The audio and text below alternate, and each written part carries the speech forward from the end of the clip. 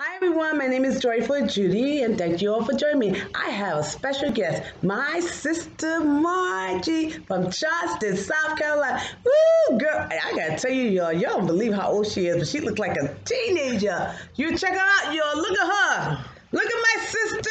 Woo, she just she just told me to stop. But this is my sister Margie Brown from Charleston, South Carolina. She's here to join us for the holiday for Christmas because we know the real meaning of Christmas. Right, sister?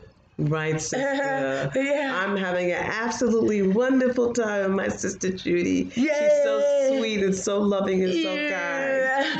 I'm enjoying her hospitality.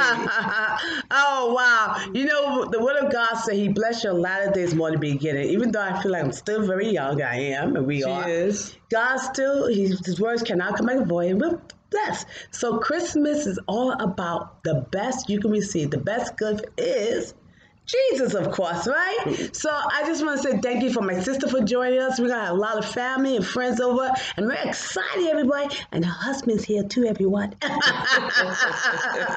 We're Oh. having a wonderful time. Merry Christmas, everybody. Merry Christmas! bless you. We Love love you. you. And don't forget, God is good. Merry Christmas Merry and God is great. Merry Christmas. Bye bye. Bye bye.